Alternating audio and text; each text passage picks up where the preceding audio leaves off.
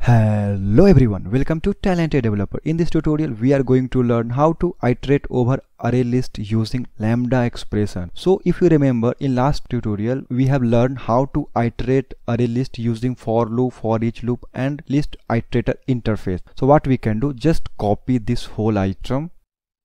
So you can see here line number 8, I have created array list, I have given the name as a fruits and it is a type of a string.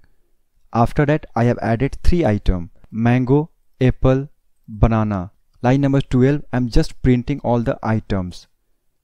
So you can see here, right? It is showing perfectly. So now we have to iterate all the fruit using lambda. So what we can do, just copy the fruit name and just give your for each. So this feature will be work only if you have minimum Java JDK 1.8 because it is Java 8 feature.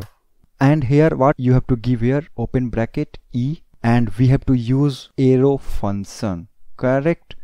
Now open and close. Just use sys out and give here e. Now if i will run you can see right? We are getting all the items. So actually what is happening here? So if you see here line number 13 right? So for each means like what? It is going one by one item.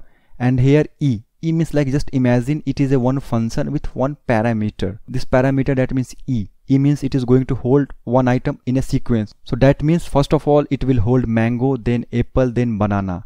So just double click here and try to run in debug mode. You can see here right? E. E means what? First of all mango right? After that again next time apple.